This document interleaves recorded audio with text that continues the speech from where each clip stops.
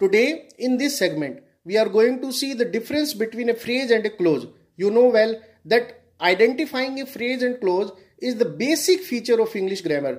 बहुत ज़्यादा जरूरी है कि आपको इंग्लिश ग्रामर में फ्रेज और क्लोज के बीच में अंतर करना आना चाहिए if we wish to just basically understand the structure of a sentence we need to know the difference between a phrase and a clause if we wish to know the simple compound and complex sentences again we need to know the difference between a phrase and a clause phrase और clause के बीच के अंतर को समझना बहुत ज़्यादा ज़रूरी है।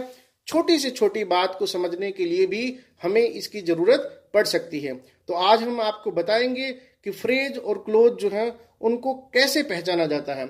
सबसे पहले जो है, मैं आपको बताना चाहूँगा कि कोई भी सेंटेंस जो होता है, कोई भी वाक्य जो होता है, वो दो भागों से जो बना होता है, उसमें दो पार्ट्स जो रहते हैं। If you just basically open Wren and Martin high school English grammar you just find that a sentence just has two parts दो भाग होते हैं किसी भी वाक्य के, पहला सब्जेक्ट यानी कर्ता और दूसरा प्रेडिकेट यानी कथन। किसी भी सेंटेंस यानी वाक्य के दो भाग होते हैं, पहला सब्जेक्ट यानी कर्ता और दूसरा प्रेडिकेट यानी कथन। उदाहरण के लिए, यदि आप यहाँ पर देखें कि एक वाक्य हमारे पास है she was absent from the class she was absent from the class इस वाक्य के दो भाग आपको यहाँ पर दिखाई दे रहे हैं। पहला शी जो कि सब्जेक्ट है। और दूसरा was absent from the class जो कि प्रेडिकेट यानी कथन है। माने कोई भी वाक्य जो होता है, वो दो भागों से बनता है, एक कर्ता और एक कथन। माने कर्ता को छोड़कर जो कुछ भी बचा, वो आपका प्रेडिकेट होता है। ध्यान से देखिए was absent from the class ये जो आपका पार्ट है, भाग है, ये आपका प्रेडिकेट है। और इस भाग में ये जो वर्ब है, वो जो है, इसको हम प्रेडिकेटर कहते हैं। आगे की स्लाइड में मैं बताऊँगा आपको।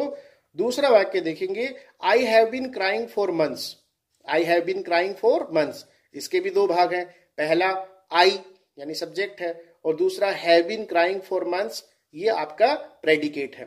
दरअसल फ्रेज और क्लोज को समझने के लिए सब्जेक्ट और प्रेडिकेट जो है उसको समझना बहुत ज़्यादा ज़रूरी होता है, क्योंकि फ्रेज और क्लोज का जो कॉन्सेप्ट है, वो सब्जेक्ट और प्रेडिकेट के ऊपर डिपेंड करता है। तो किसी भी वाक्य के दो भाग हुए, कर्ता और कथन। सब्जेक्ट को छोड़ करके जो कुछ भी बचेगा, वो आपका प्रेडिकेट यानी कथन होगा। और इसके अलावा, ध्यान से देखें इस परिभाषा को कि subject is that element of a sentence of which something is predicated कर्ता किसी वाक्य का वो एलिमेंट होता है, वो भाग होता है, जिसके बारे में कुछ कहा जाता है। यानी कर्ता वो एलिमेंट होता है, जिसके बारे में कुछ प्रेडिक्ट किया जाता है, कुछ कहा जाता है। और predicate tells something about the subject और प्रेडिकेट वो होता है, जो सब्जेक्ट के बारे में कुछ बताता है, कर्ता के बारे में कुछ बताता है। और इसके अलावा a predicate can not be formed without a predicator जी हाँ हम ग्रामर में वर्ब जो है, उसके लिए प्रेडिकेटर शब्द भी जो है, वो यूज़ कर सकते हैं if it is just you can say accompanied by subject तो आप देखें कि प्रेडिकेट जो होता है, कथन जो होता है ना, वो बिना क्रिया के नहीं हो सकता है। यदि किसी कथन में एक ही एलिमेंट है तो वो आपका प्रेडिकेटर ही होगा। बिना प्रेडिकेटर के, यानी बिना वर्ब के आप प्रेडिकेट यानी कथन जो है उसकी, उसको फॉर्म नहीं कर सकते हैं, उसको बना नहीं सकते हैं। उसके बाद हम आते हैं फ्रेज और क्लोज पर, जो आपका मेन आस्पेक्ट है कि भी फ्रेज किसको कहते हैं और क्लोज किसको कहते हैं। जरा ध्यान से देखेंगे कि फ्रेज जो होता है, वो भी आपका एक ग्रुप ऑफ़ वर्ड्स होता है। आगे की स्लाइड में उसकी डेफिनेशन दी है। उस ग्रुप ऑफ़ वर्ड्स के अंदर जो है सब्जेक्ट और प्रेडिकेट दोनों नहीं होते हैं। ध्यान से सुने। और क्लोज जो होता है, उसमें सब्जेक्ट और प्रेडिकेट होते हैं। क्लोज में सब्जेक्ट और प्रेडिकेट होते हैं और फ्रेज में सब्जेक्ट और प्रेडिकेट नहीं होते हैं। आप देखिए परिभाषा a phrase is a group of words generally is a group of words क्योंकि फ्रेज एक शब्द भी हो सकता है वन वर्ड भी हो सकता है, लेकिन वो एक हायर कॉन्सेप्ट है जो जोफ्री लीच में आपको पढ़ने को मिलेगा। यहाँ आप देखेंगे phrase is group of words एक फ्रेज जो है वो शब्दों का समूह होता है इन ए सेंटेंस किसी सेंटेंस में that does not contain a subject and a verb जिसमें सब्जेक्ट और वर्ब जो है वो नहीं होता है। पीछे हमने कहा था कि जिसमें सब्जेक्ट और प्रेडिकेट नहीं होता है। अब ज़ाहिर सी बात है प्रेडिकेट का मतलब कि उसके अंदर प्रेडिकेटर तो होगा ही होगा, और प्रेडिकेटर का मतलब क्या होता है? वर्ब तो चाहे तो आप ये कह दो कि फ्रेज में सब्जेक्ट और प्रेडिकेट नहीं होते हैं, दोनों नहीं होते हैं। चाहे ये कह दो कि सब्जेक्ट और वर्ब जो है वो फ्रेज में नहीं होते हैं और क्लोज में सब्जेक्ट और वर्ब होते हैं। फ्रेज में सब्जेक्ट और वर्ब दोनों नहीं होते हैं। दोनों में से एक हो सकता है, दोनों नहीं होते हैं और क्लोज में दोनों अवेलेबल होते हैं। एग्ज़ाम्पल से ये बात आपको अच्छे से समझ में आएगी। अब आप इन फ्रेजेज को देखिए जरा। ऑन द वोल है ना? अब यहाँ पे आपको सब्जेक्ट और वर्ब का कोई कॉम्बिनेशन मिल रहा है? जी नहीं नहीं है। तो इसका मतलब ये फ्रेज है। इन द वॉटर क्या यहाँ पर सब्जेक्ट और वर्ब का कॉम्बिनेशन है कुछ? नहीं है। इसका मतलब ये फ्रेज है। ओवर द होरिजन क्या सब्जेक्ट और वर्ब का कोई कॉम्बिनेशन यहाँ पर आपको देखने को मिल रहा है? नहीं मिल रहा है। इसका मतलब ये भी एक फ्रेज है। वर्किंग हार्ड तो वर्किंग हार्ड में क्या आपको सब्जेक्ट और प्रेडिकेट यानी वर्ब कर्ता और क्रिया का कोई कॉम्बिनेशन देखने को मिल रहा है? नहीं मिल रहा है। इसका मतलब ये भी आपकी फ्रेज है। इधर चलेंगे क्लोज की तरफ़। पहला वाक्य देखेंगे, पहला क्लोज जो देखेंगे the boy is playing no doubt ये एक सेंटेंस भी है, लेकिन आप ध्यान से देखें द बॉय इज़ प्लेइंग के अंदर द बॉय जो है आपका, ये आपका सब्जेक्ट है, और इज़ प्लेइंग जो है वर्ब है। तो ये आपका एक तरीके से क्लोज का काम करेगा। सारा स्माइल्ड सारा सब्जेक्ट है, और स्माइल्ड जो है आपका वर्ब है, इसलिए आपका ये क्लोज का काम करेगा। अनु वेंट अवे अनु जो है वो चली गई। तो अनु सब्जेक्ट है, और वेंट अवे वर्ब है तो ये आपका क्लोज का काम करेगा।